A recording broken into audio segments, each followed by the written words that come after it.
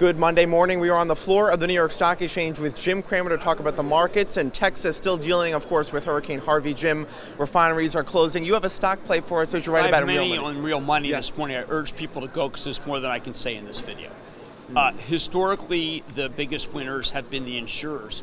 People don't realize that, but they're able to raise rates off this. So for the first couple days, the stocks have always gone down. Three months later, they're always up. So look at Progressive, look at Allstate, Travelers a little less. Look at Chubb. These have been real big, uh, real big beneficiaries of higher prices, as have been Marsh Mac and Aon, the two brokers. And don't forget, there could be relocation here.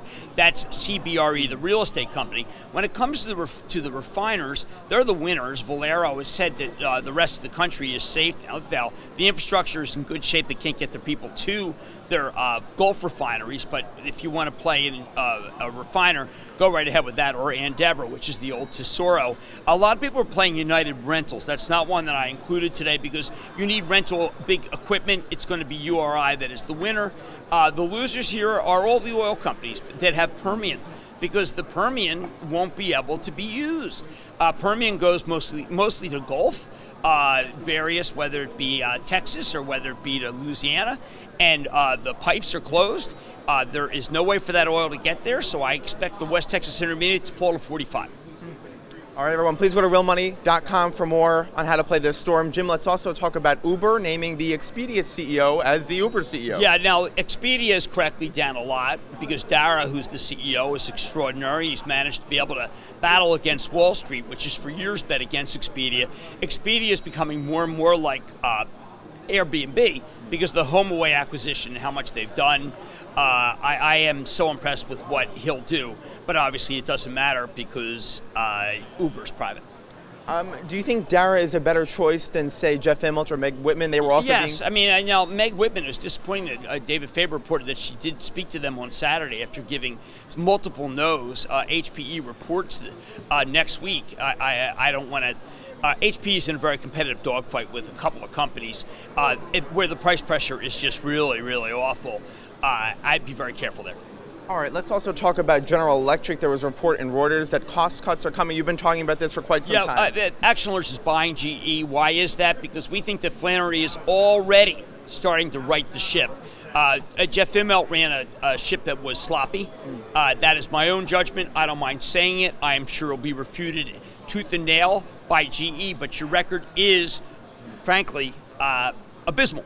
And you are what your record says you are. So I think that Flannery coming in uh, and making these changes is a sign that Flannery did not have belief in the way the company was run. I don't blame him. It has to be run differently. Right, meanwhile, Procter & Gamble urging shareholders to vote against Nelson Peltz. What okay, you think? if you have a longer term view of how Procter has done, then you have to vote for Peltz. That's pretty simple. If you have a shorter term view of how Mr. Taylor's done, then I think you want to give the company a pass and give let their uh, and not have Mr. Peltz on. Again, what's going to happen is, is that the people who uh, are in favor of the longer term view will not like what I said. The people who are in favor of the shorter term view will not like what I said. I don't do what I do uh, because I want to please anybody. I do what I do because I want to please you. All right, there was also a Reuters report that the Western Digital CEO is in Tokyo potentially trying to finalize that Toshiba Yeah, I mean, Western Digital, we sold it. We made a lot of money. If they get Toshiba, the stock goes much higher. Okay, let's also talk about Apple confirming that September 12th is their next. I, I don't know if they confirmed it. I mean, and press reports have confirmed it. I've been trying to speak with Apple directly. Uh, this is much faster than people thought. Apple will be pushed hard, I believe, by Warren Buffett when he is interviewed by Becky Quick on CNBC on Wednesday. Uh, I think that's important. It's also remembered important that he's been cutting back his IBM stake. What I find to be most interesting is the Broadcom reported last week, and we have a very good multiple analysis for action alerts why, why Broadcom fell. Uh, and a lot of it was because I think that they couldn't talk, about Apple and how much it means. Uh, Avago, Broadcom, AVGO is being sold here. It's being sold here by people who feel there's no more upside. We saw the same thing with NVIDIA.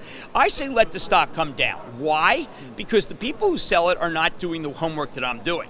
They are just looking and saying that there was no uh, guide up, so therefore it's no good.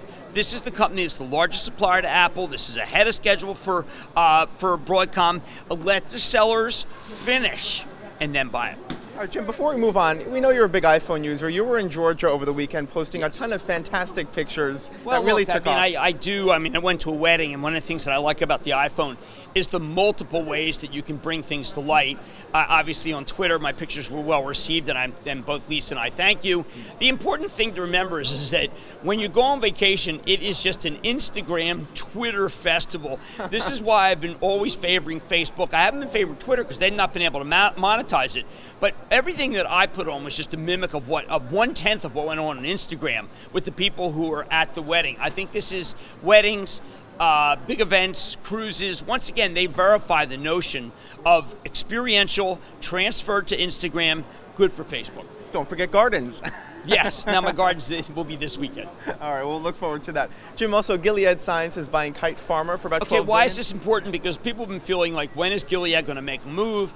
Gilead has not been able to deploy its cash. Gilead has been stuck very much on its one, on its Hep C, which is a cure, so that's one time only. This is very positive. I do like CAR T. You're talking about three, maybe four years in advance. It's multiple myeloma is their, one of their main areas, a lot of different blood cancers.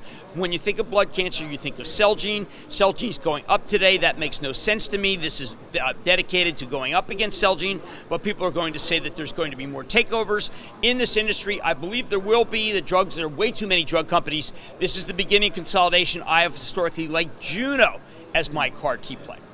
Okay, Jim, the Amazon Whole Foods uh, deal closes today. Do you think there will be more Whole Foods locations? Oh, uh, uh, they should. I mean, at 400, they were going to go to 1,200. What's important here is, is that, that these Whole Foods will be distribution centers and uh, centers to be able to move product to you. Uh, they're trying to have, they'll be much closer to you than they are currently, although in the urban environments, Whole Foods is ready to take over. Uh, Whole Foods had the most, was was able to make the most money per square foot. They could cut it in half and still be able to, I think, uh, do quite well, uh, which is bad news for Kroger, but that stock has come down a great deal. Let it lift. Uh, bad news for Costco. Stock came down a great deal. You can let it lift.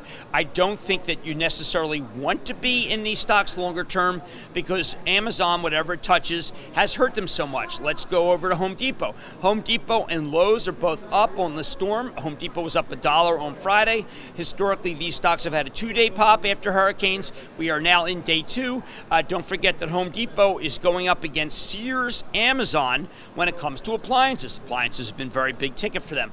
I like Home Depot, but I uh, but I understand that now you have a lot of fast money in the stock. That worries me. All right, Jim, staying with some of these retailers, what are you expecting from Best Buy's earnings on Tuesday? Best Buy is at 52 week high, so therefore it usually means that the smart money is already bet that it's going to be good. My problem there is again, it'll be good, and then people talk about Amazon. And uh, Amazon stock, by the way, multiple good articles about it.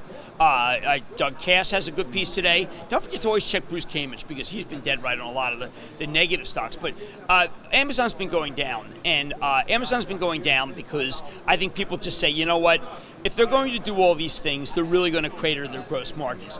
Uh, so therefore, I don't want to be in Amazon. I myself do not want to be in Amazon. It's my least favorite FANG stock. Hmm. All right, Jim Cramer, we'll leave it there. Thank you so much. You. As always, for more information on the stocks Jim mentioned, please head back to thestreet.com.